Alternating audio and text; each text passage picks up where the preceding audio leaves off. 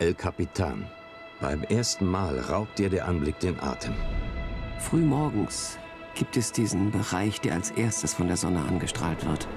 Die Dawnwall. Die Dawnwall wurde noch nie bezwungen. Bevor Tommy Caldwell auftauchte, hat niemand darüber nachgedacht. Du trittst über die Kante der Welt. Was sich alle fragen, wozu macht ihr das? Ich war ein zerbrechliches Kind. Er krabbelte erst mit über zwei Jahren. Mein Vater dachte wohl, dass er mich am besten auf die Welt vorbereitet, indem er mich abhärtet. Er nahm mich mit auf seine Abenteuer. Einige der verrücktesten Klettertouren. Und das mit sechs.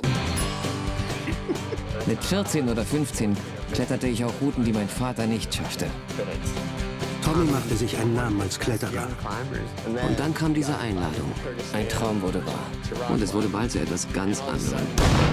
Da begriffen wir, wir sind jetzt Geiseln. After being held captive for six days, four young Americans confront the ultimate choice to kill or be killed. Tommy hatte sie alle gerettet. Tommy wurde eine völlig andere Person. Seit Kirgisistan trage ich dieses Feuer in mir. Das ist immer meine Art, mit dem Leben umzugehen. Ich konnte nicht da sitzen und nichts tun. Also ging ich allein in die Dawnwall. Die letzte noch unbezwungene Wand. Irgendwann spürte ich etwas. Vielleicht könnte man das ja schaffen. Ich brauchte einen Kletterpartner. Kevin war einer der Besten der Welt, aber nur bis 10 Meter.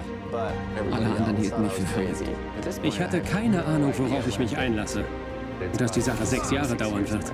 Nur ein Hirngespinst. Und jetzt heißt es nur noch tief durchatmen? Wenn Tommy und Kevin das schaffen, wäre das die mit Abstand schwierigste Kletterroute der Welt. Und das geht Tag für Tag so weiter. Plötzlich sah uns die ganze Welt zu. Und einer hängt fest. Eigentlich war es das. Ich will dich nicht aufhalten. Ich glaubte nicht mehr daran, dass ich es schaffen könnte. Ich wusste, dass wir zu viel mehr fähig sind, als wir uns vorstellen können.